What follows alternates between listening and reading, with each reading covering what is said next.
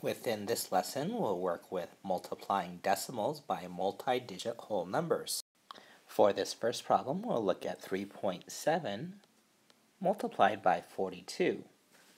An estimate for this product would be 4 times 40, which is approximately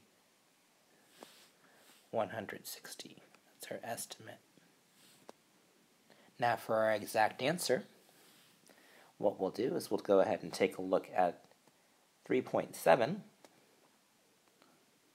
that 3 and 7 tenths, and we'll think about how many tenths it's worth. 3.7, or 3 and 7 tenths, is worth 37 tenths. So really we have 37 tenths times 42.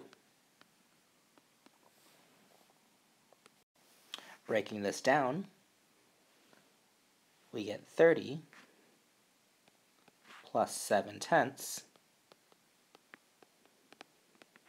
And then the 42 can be broken down into 2 plus 40. And we're looking at that area model for that product.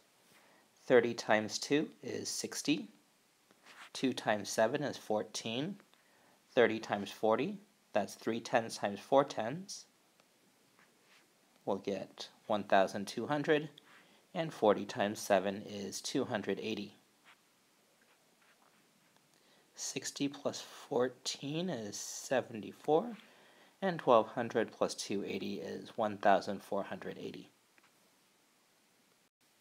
Looking at this with the standard algorithm, we have 37, and remember it's tenths, times 42. 2 times 7 is 14. 4 regroup a 1. 2 times 3 is 6 plus 1 is 7. I will place a 0.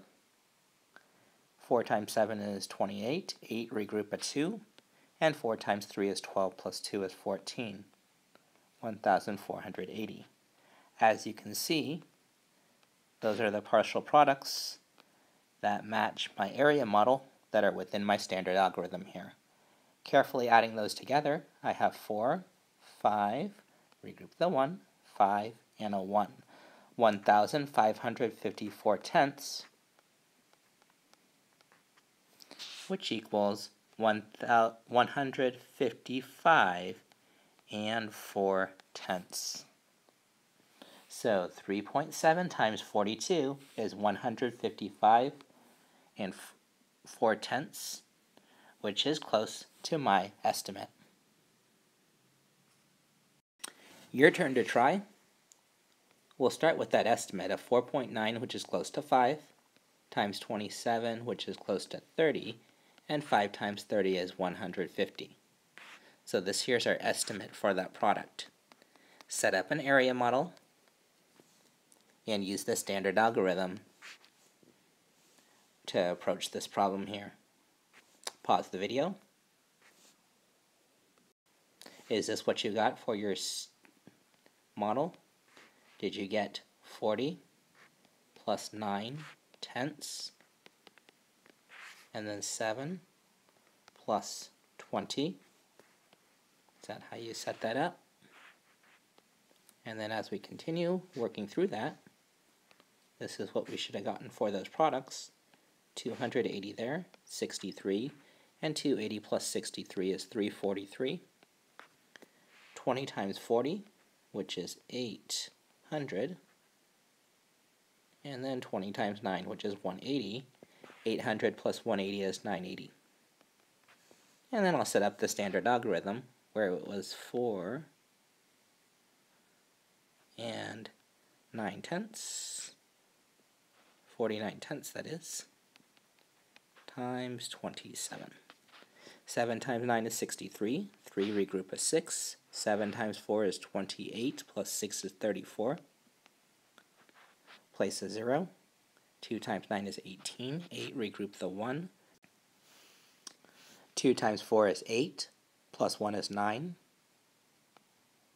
And as you can see, those partial products do match up. Adding those together, I get 1,323 and that was tenths. Which means it's 132.3 within standard form. Which is reasonable considering the estimate there.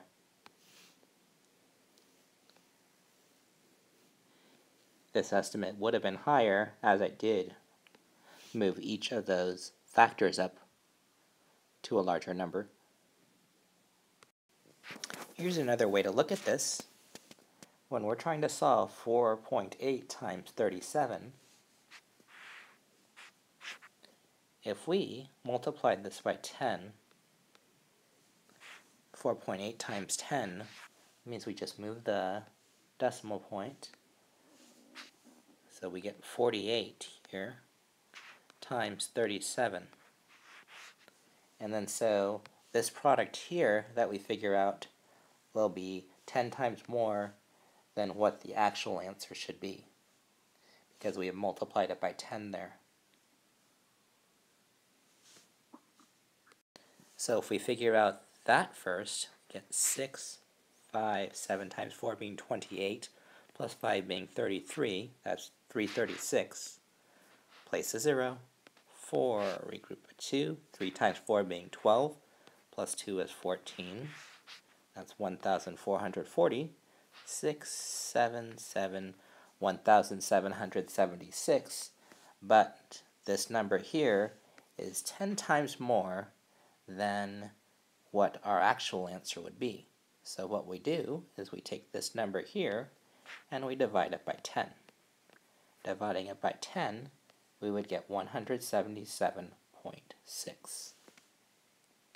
So all we did is we multiplied by 10 first, and then we divided by 10 so that we'd have that same answer that we should have in the first place of 177.6, which would be the answer for 4.8 times 37. This is very similar to the approach that we were just taking, where it is that we are taking that 4 and 8 tenths and rewriting it as 48 tenths.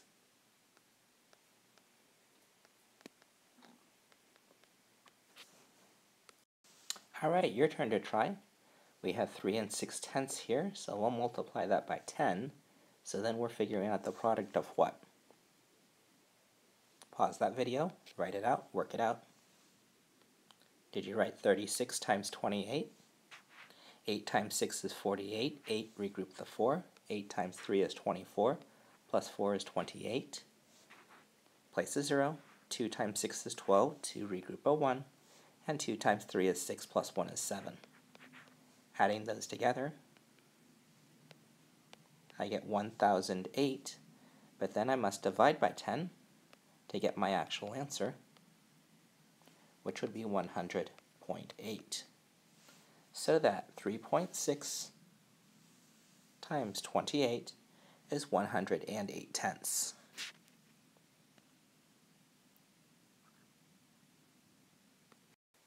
Still works similarly if we have a slightly larger number, 46 and 8 tenths.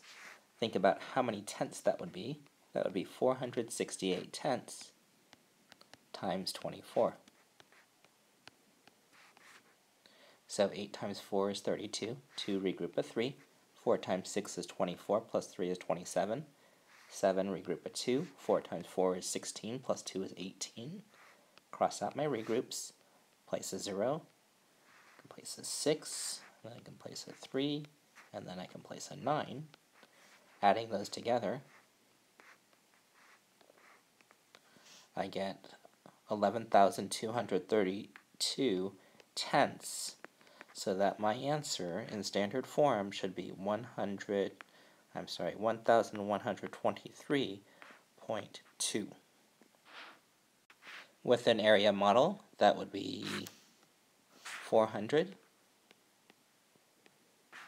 plus 60 plus 8 tenths. And then we have 4 plus 20 for the 24.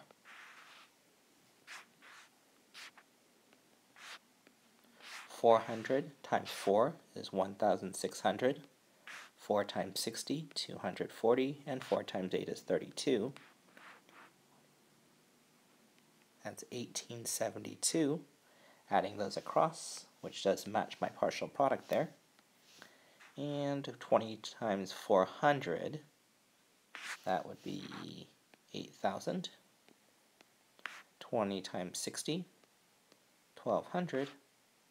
And then 20 times 8, 160. Adding those together, 9,200 and then 9,360,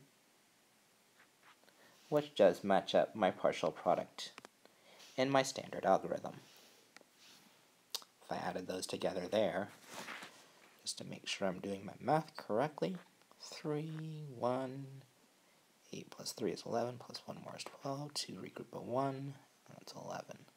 11,232 tenths again, just like my standard algorithm, and then I can convert it into standard form. That would be my answer up here.